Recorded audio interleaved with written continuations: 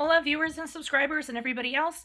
Um, I am running my monthly 24 hour special. So I'll be running this for two days. So if you get your order in by 7 o'clock tonight, Eastern Standard Time, which is New York City time zone, until November 5th at 7 o'clock p.m., at nighttime, which will be the cutoff. If you book during those times, you get guaranteed 24 hour turnaround on your reading, plus you get additional minutes. So if you book a 15 minute reading, you get five additional minutes. Uh, half hour reading, you get 10 additional minutes. 45 minute reading, you get an hour reading, and then an hour reading, you get an additional 20 minutes. Okay. So that's what I do, but you have to book during those times. Um, you will receive, you're guaranteed to receive payment, I mean, you're reading 24 hours after payment is received, okay?